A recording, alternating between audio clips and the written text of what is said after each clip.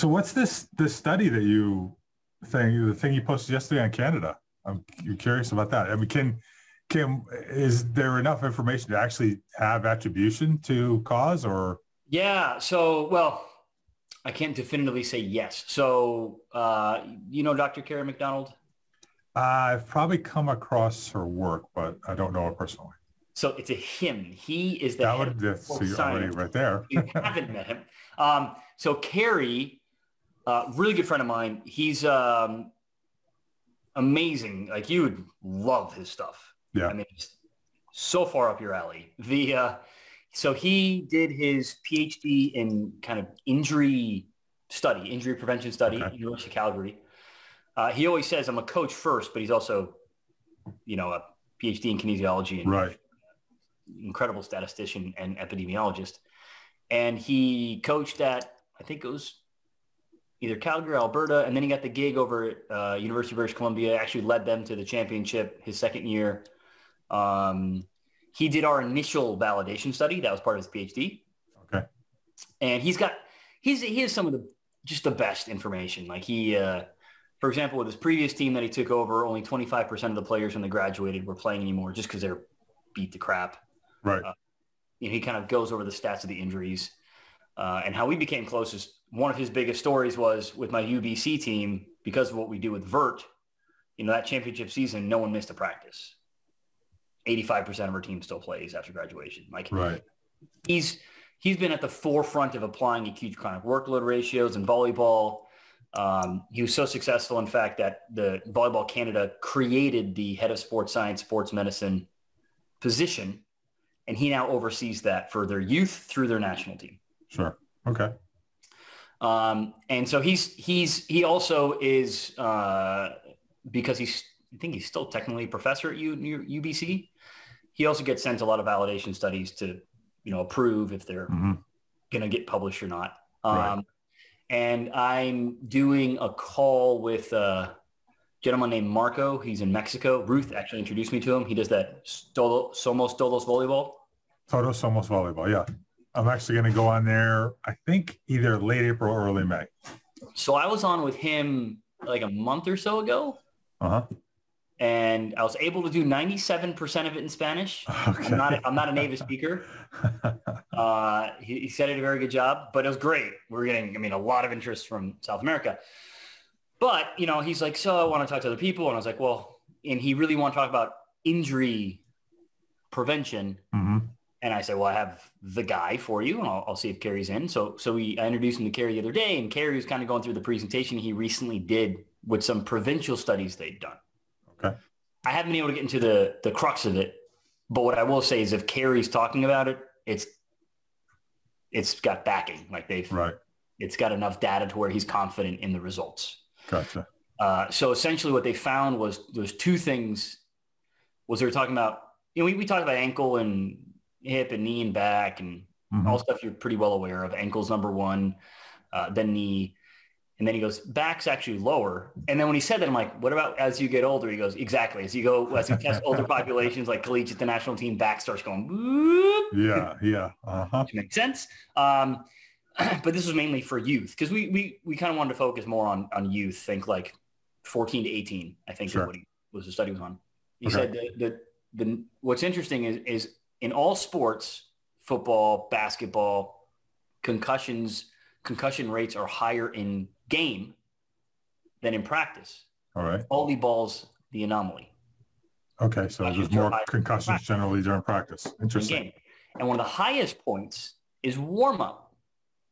And he shows, you know, like a video in the presentation. I'm gonna actually have him send me the presentation so I can look at it more because it's a really, it's a, I really think it's one of the best best presentations I've seen for the, I mean, collegiate, but really the club coaches. Mm-hmm. I mean, it's really straightforward, simplified. Just like here's why this happens. But what they did in Canada, and I don't think that I don't know if it was provincial or a national thing, but they made a new rule. And I, again, I don't know if it was a year or two years ago. Those are the details I don't recall. But it was, you know, when you come up and you're doing your hitting lines and warm up, you can't hit and go under the net and then right. get back from behind. Right. And and they saw a statistically significant drop in concussions when they said you have to hit and walk around. Okay. And then the other part was they found because because I thought that was wild. You weren't allowed to block in a lot of Canadian provinces because you'd be too close to the hitter Mhm. for COVID nineteen. Right. Yep. And Kerry's like, yeah, we saw we we saw a significant spike in in concussions because these defensive players are just getting rocked. Okay. Yeah. But the- I the also one- said I anticipate they're going to become even better at digging. Those who don't have lasting effects from the concussion. Yeah. The, the question that would that immediately comes to mind in that regard, in terms of the spike, is could there be some element of that that's just simply the fact that you've gotten deconditioned athletes? Sure, sure. I mean, there, there's there's going to be a ton of variables, and frankly, I'm going to make the assumption because I know him that Kerry will have uh, looked at most of those variables. You're going to have reaction times down. If if kids aren't sleeping as well, which I almost guarantee you is the case, Mhm. reaction times are going to go down. Yep. Uh, I think you and I have talked about it in previous conversations where, you know, I'll be looking at, at client data, be it, you know, sleep data, vert data, HRV data, whatever. Some of our clients will just look at everything they have. And what, what, you know, say like, so what do you think this is going on? I'm like, I have, I have no freaking idea. that that's right when the U.S. elections were taking place. Uh, her grandmother could have had COVID. Like, Right. too far too many variables right now for uh, for me to try to you know say, hey, there's a spike in her jumps. Well, not really. You're most programs have actually been really really responsible. Right. Um, Yep. From what I've been able to see, it's been great. They've been very, Mhm. responsible. but but yeah, On that, on that, the, the, since you brought sleep up, maybe you don't know the answer to this, maybe you do. I, like many people, have a device on my wrist. It's a low-end device. It's not Mhm. as fancy as a, you know, as some of the better ones, but it does at least theoretically track my sleep at night. And it differentiates between deep sleep and light sleep. yep. What should that be like? What sort of balance should be, should I be seeing between deep and light? I, I can't speak to that because I haven't looked into that in years.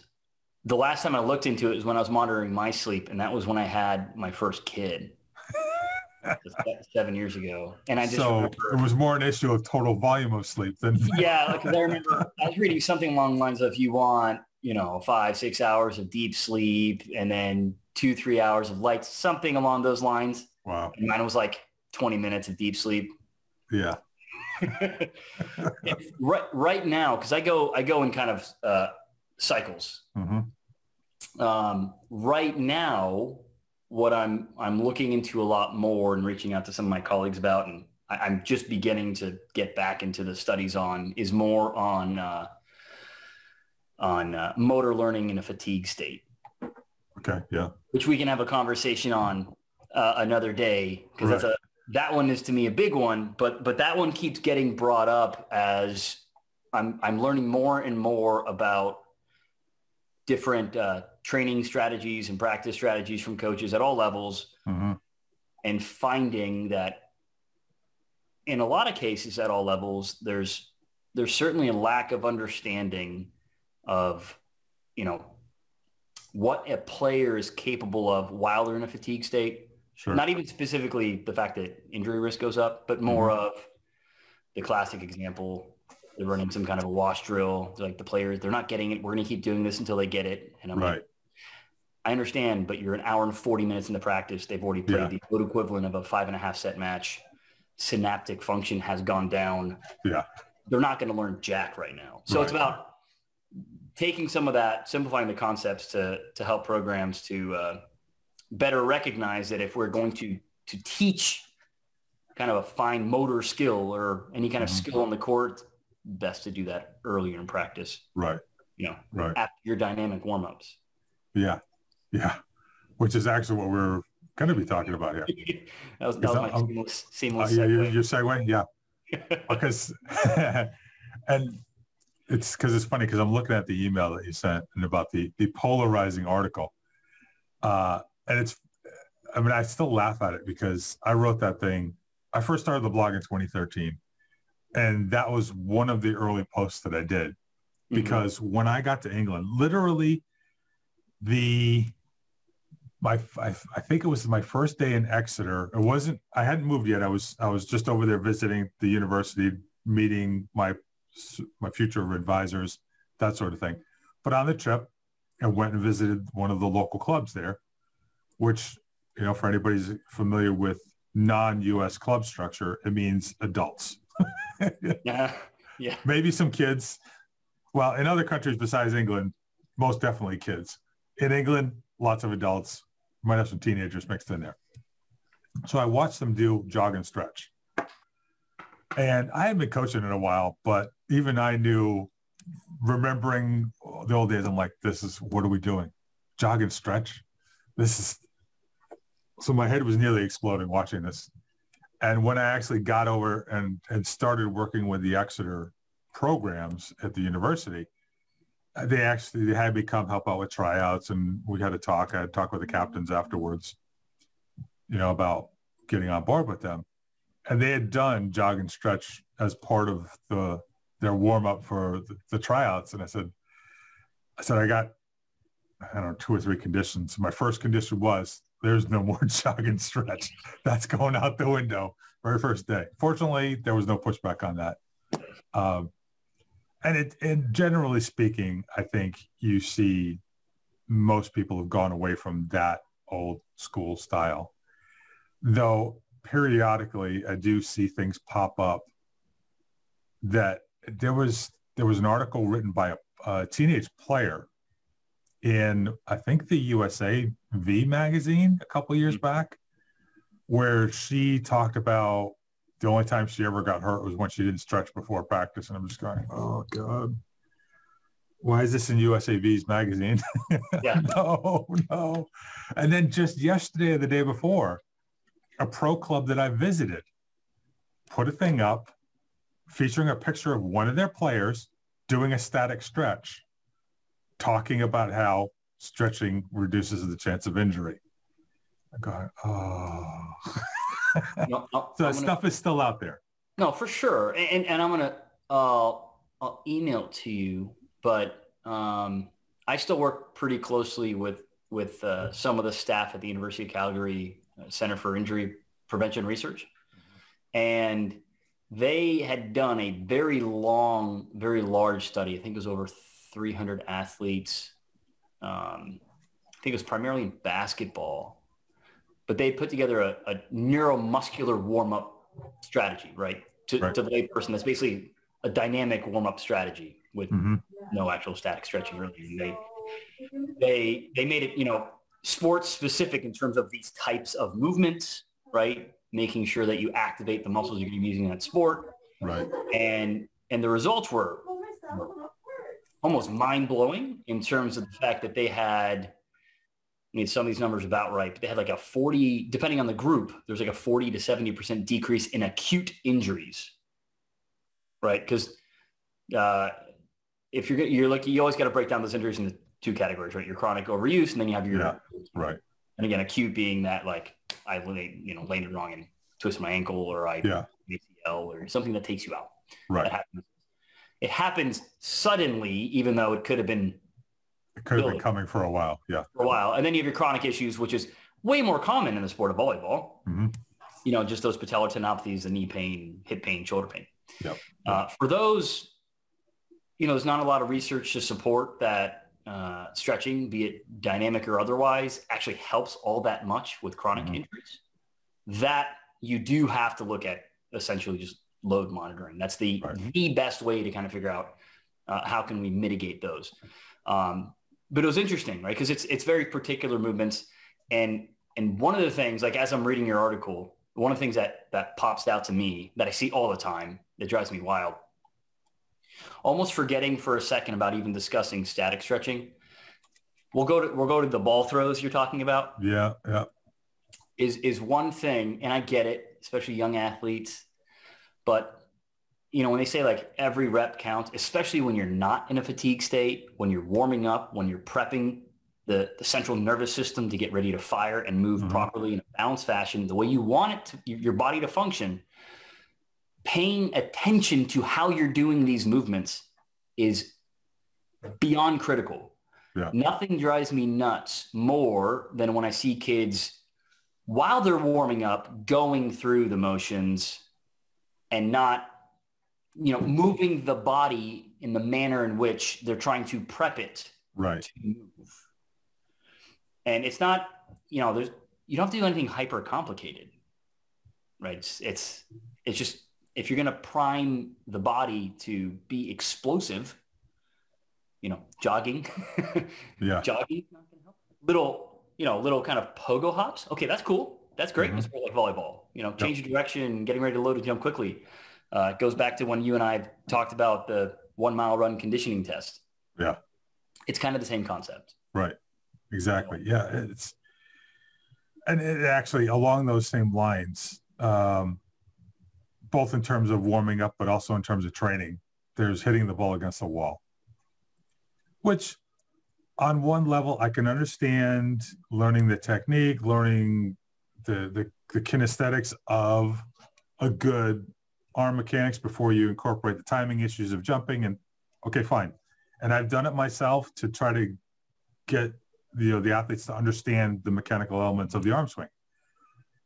But when you watch a player standing up against the wall hitting the ball at their shoulder repeatedly off center this way this way i'm like you're just training stuff you'd never want to actually have to do in a game.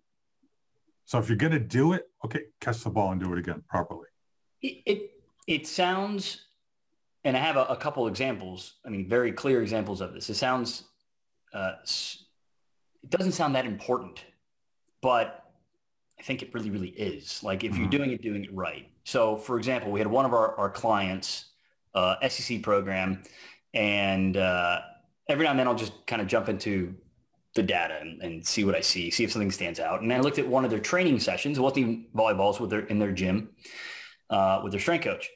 And I noticed, uh, for those unfamiliar with the system, you know, we'll, we'll measure like those impacts of their movement. right I noticed that this section of time, everyone was doing the same thing.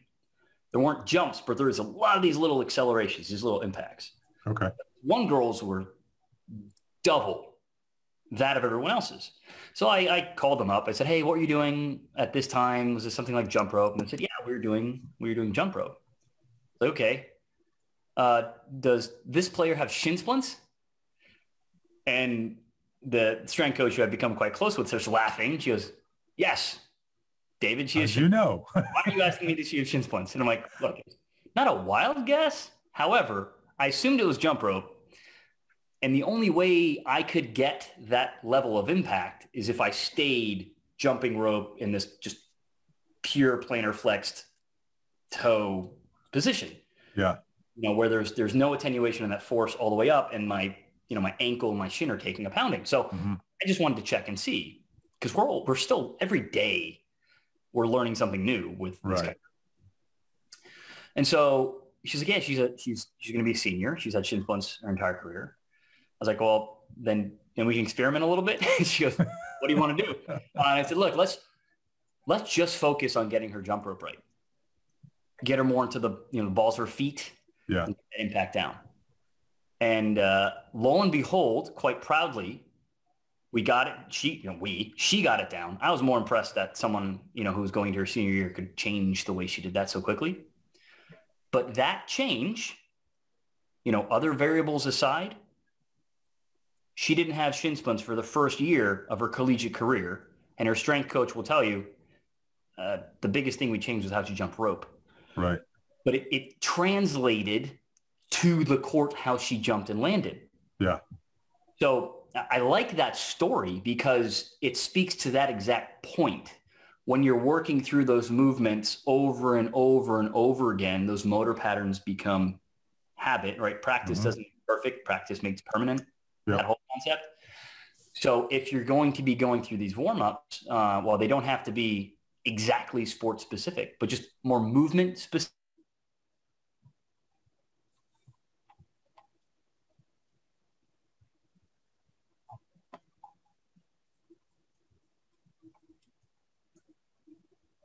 Kind of s- sport specificity on training. Yeah. some people get really hyper sport specific and I start telling them like, you know, I don't know if I, I think we're, am I cutting out or you can hear me okay? I can hear you now. You did disappear for a little bit there, but I think your point was all right. So we can carry on. connection. So, um, you know, a lot, I, I talk to, to strength coaches a lot because one of the things that virtually any program doing any kind of strength conditioning training will do is uh, like depth drops off of a box. Off box, yeah. And this was another thing where you, you understand why it's being done, right? We're trying to get them to learn how to land well and mm-hmm. also build up their kind of tendon tolerance to those landing impact forces, those decelerated forces, which are the highest in the sport. Right. But, you know, does it translate? Well, you know, you're almost never dropping perfectly, you know, on any kind of attack. Right. Yeah, exactly. So one of the things that I started looking into and then started recommending to people that has worked out very well so far anecdotally, but based on some of the data we've been able to collect was we'd say, all right, if you're going to do a depth drop, have them drop in front of the net, like a weak uh, foot or two away from the net or even the wall. Okay. And what's fascinating is what you see is with some athletes, when you put that like game specific stimu- uh, visual stimulus in front of them, right, completely change the way they land, even yeah. dropping off the box. Right. Like, oh, I don't want to hit. You know, I'm like, yep you're like this far away still. Yeah. Um, and you should still have flexion at the hips, knees, and ankles without your face going way before in front of your toes. Mm-hmm.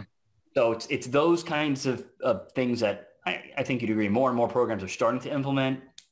Um, but yeah, if there's one thing that any coach can take away from these kinds of conversations is don't be lax when you're running them through any kind of a you know game prep movement warm up on technique and what it is you're doing. Yeah. Yeah. And unfortunately, in a lot of ways, dynamic warm up has become what jog and stretch used to be, which was the coach being lazy and just going, go do your thing while I'm over here doing my plan or putting in my lineup or whatever the coach is doing so that they don't, they know it's being done automatically.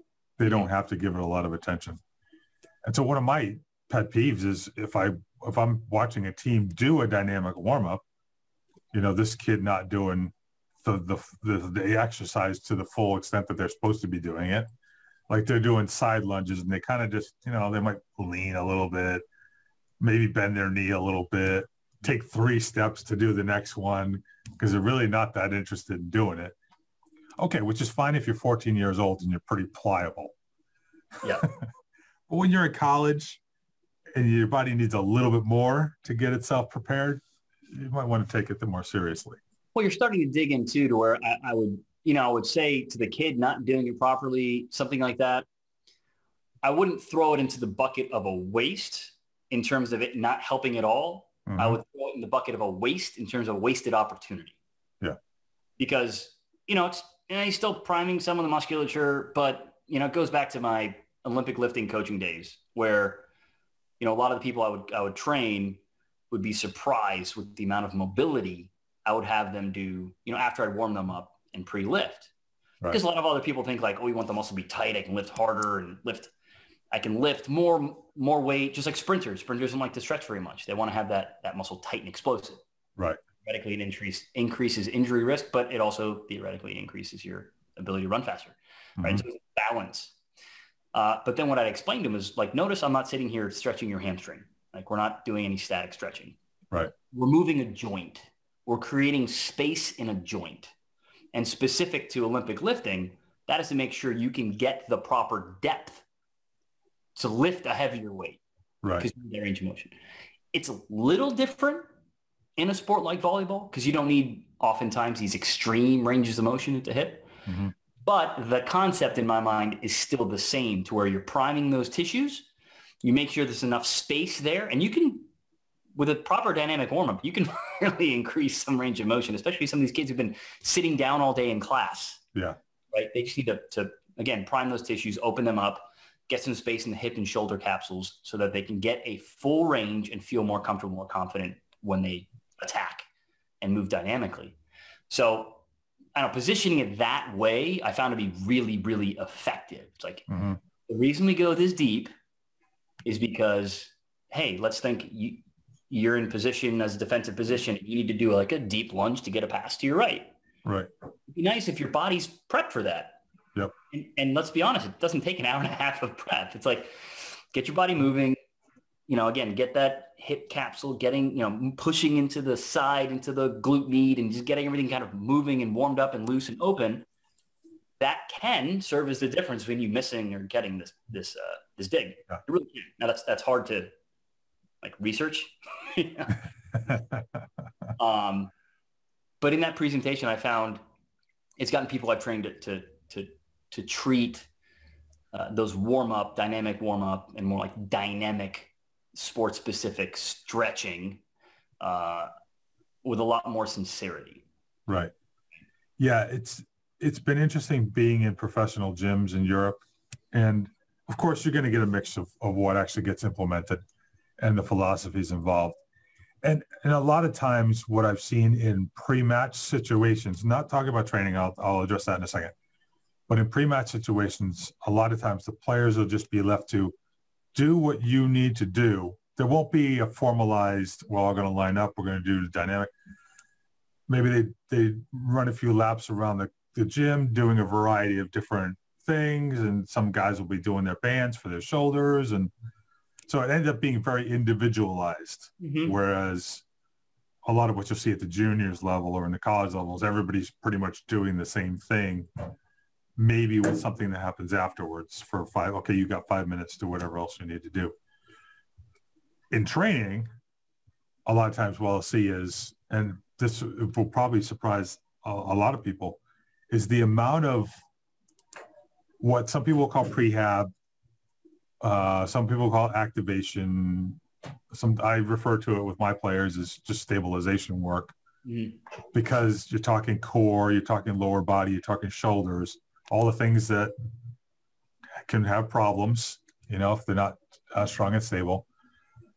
But the pros are doing that like 45 minutes a day before their first session, whether that be the first session going to the weight room or the first session of being on the court doing serve and pass or, you know, whatever it happens to be that day. And it's intense and they're, they're tired after they do it. It's the, so individualization, if you have the proper kind of background knowledge and context for that athlete, mm-hmm. going to always be the way to go. So understanding in the youth youth setting, individualization becomes complex because a, in a way, they kind of haven't injured themselves yet, so we don't know to individualize, right? Yeah. So uh, again, I'll use myself as, as, an example here. I shredded both my shoulders at the ripe old age of 15. Mm-hmm. You know, and uh, ended a rather promising swimming career.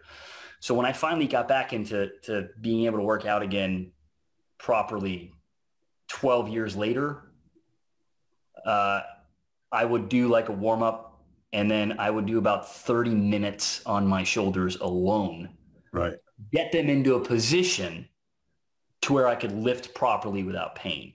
Now that's yeah. an extreme example, um, but it kind of goes back to a, another situation we had with uh, I was at the the youth nationals, the high performance, uh-huh. they in Fort Lauderdale often, which is the best, best event in the world, primarily because it's 10 minutes from my office.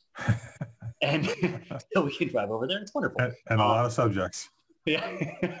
Except for when the water main broke that one year. I don't that, know. That, yeah, that, that could cause some problems. That was super fun. Um, but uh, what was really interesting was there's actually the Canadian youth, one of the Canadian youth teams came over. And this was, I think, the first year I was working for Verts. It's like five or six years ago now.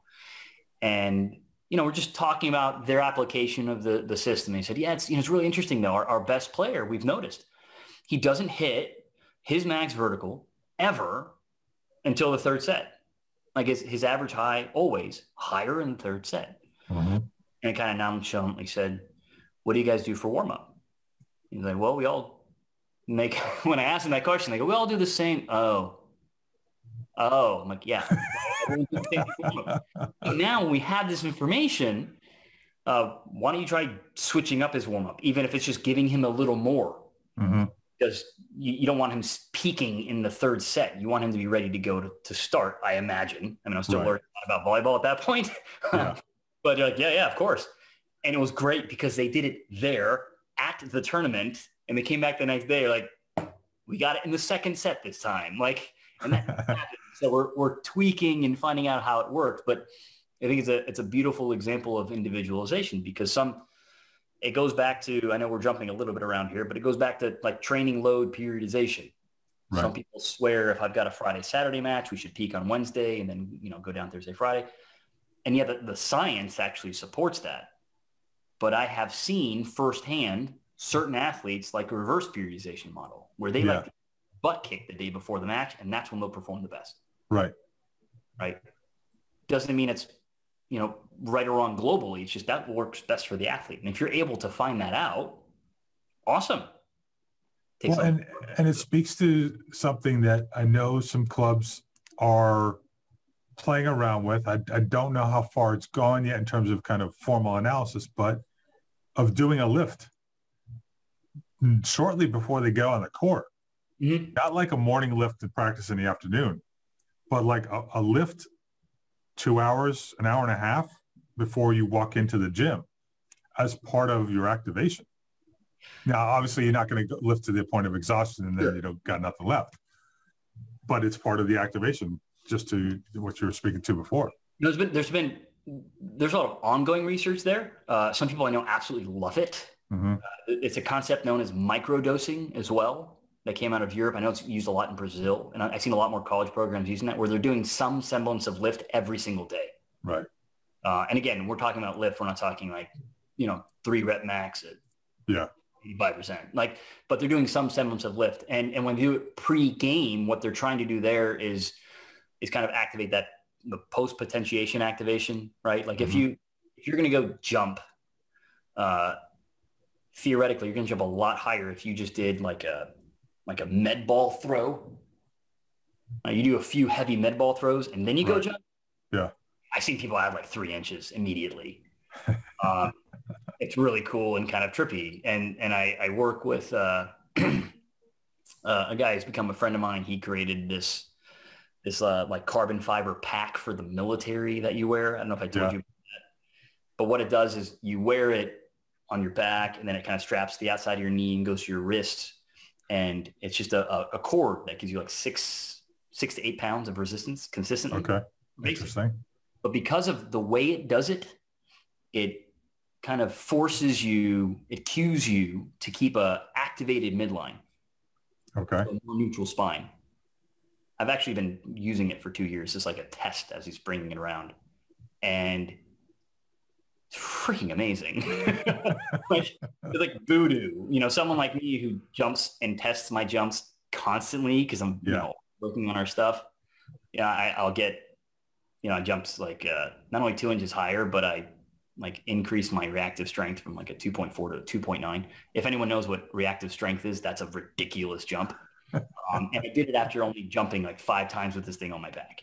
Yeah. So there, there are different really cool ways to prime the system. And, you know, that being said, it doesn't always have to be crazy long duration. There are some no. quick, but actually I'm glad you brought up the lifting example because that, when done properly, it's like legal cheating if you're going to go like, especially the first set,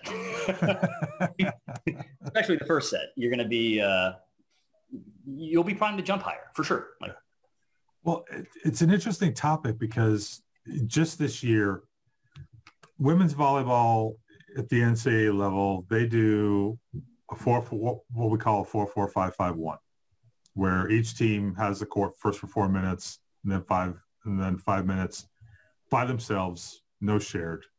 They've got the ever, you know, you you're on your own half of the court prior to that, but in the men's game, they do a lot more normally, not this year, because of COVID, but they normally they have a lot more shared over the net stuff happening in their game. And if you go overseas, you see shared hitting warm-ups all the time. You just hit line. So you're not going back to the concussion thing we talked about before. uh, which speaks and, and for people who may not even realize why the stepping around would make that much of a difference. Well, if you're hitting line and you step under to go get a ball, you're directly in the line of the people hitting the ball because you don't hit cross court anywhere.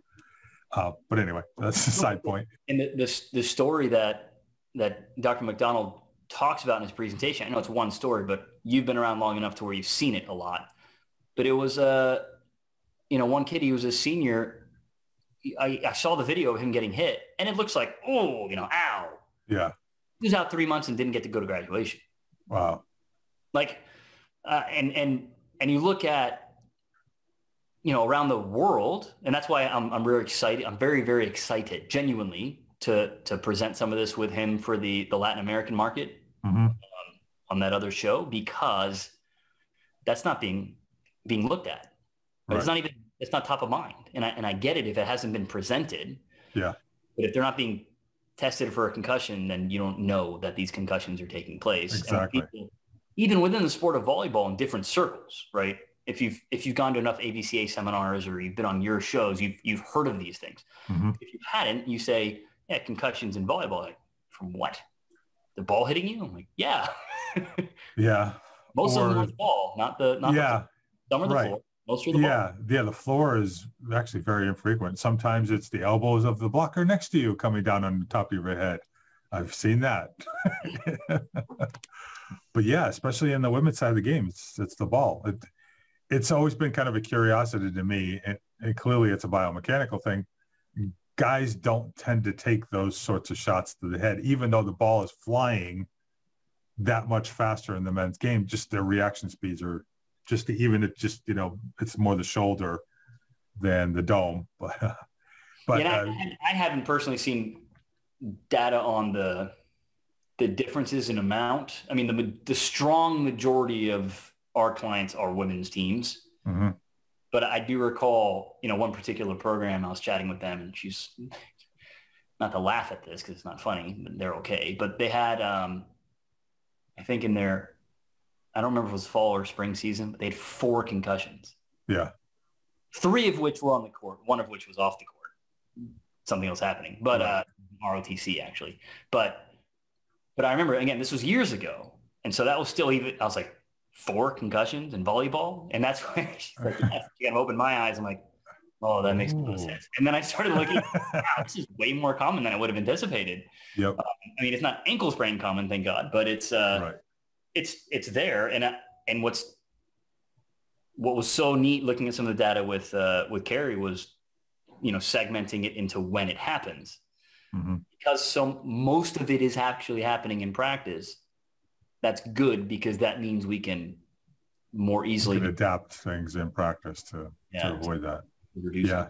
Yeah. That, I mean, that is, it's really interesting news because I've seen it the other way. When I was coaching in Sweden, one of my middles who had played at Washington State came around on the slide, really had no block there, speaking to your point about the Canadians not being able to block against each other, and just laid out the line defender, yeah. just flattened her and I'm just one of those lying on the court looking for birds and stars and stuff like that. So yeah, it happens.